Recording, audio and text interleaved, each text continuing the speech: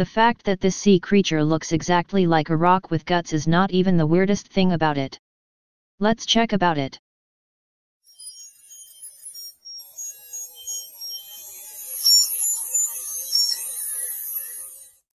The fact that this sea creature looks exactly like a rock with guts is not even the weirdest thing about it. It's also completely immobile like a rock.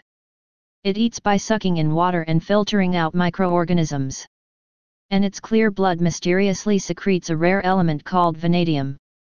Also, its born male, becomes hermaphroditic at puberty, and reproduces by tossing clouds of sperm and eggs into the surrounding water and hoping they knock together. Self-sexing vanadium secreting intestine rock thing is actually called Pyura chilensis, and it's found off the coast of Chile and Peru. Locals eat it raw or in stews, and non-locals describe the taste as bitter and soapy with a weird iodine flavor.